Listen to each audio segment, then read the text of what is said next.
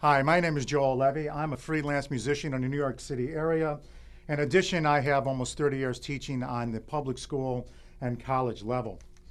In my years of teaching, I've noticed that many, many students have developed the same, same bad habits.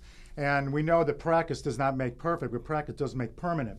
So what I want to show you today is some things that I think you can change very quickly to could really help you improve your playing quite fast.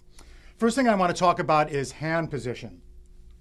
If I take my hand away from the clarinet and hold it naturally in my right hand, it should look almost like I'm holding a cup or a glass, or I have a tennis ball in there. The shape is like this. If I squeeze these two fingers together, it almost makes an O, and the fingers again are, are curved. When I bring up the clarinet, it should look like this in the right hand. You see a nice space in here. What I see with many, many students is that their thumbs, their thumbs are not in the right position.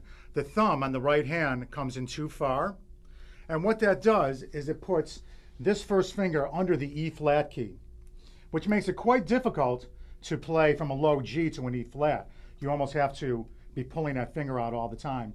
I think what also happens with young players, very beginners, because the clarinet is heavy, they feel like they need to rest the clarinet on that first finger. If you take your hand away from the clarinet and you see a mark right here, that's kind of a sign that you're not holding that clarinet upright. The movement of the fingers comes from the knuckle here. A lot of young players, again, if they have that thumb in the wrong place and curved up, they end up trying to move from this first joint which becomes very, very difficult. It's much faster to play like this.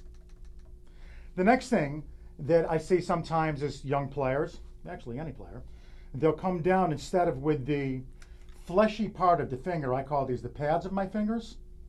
I've heard some people call those the light bulbs of the finger right there. They'll come down with the front of the finger on the keys, which would look like this. That makes it quite difficult to cover the holes and it's easy to leak and squeak. So I come down with the pads of the fingers. It would look like this. So when reviewing that, the thumb is critical to getting your thumb in the right place. Again, I put it in the right hand, just behind the nail, thumb parallel to the floor,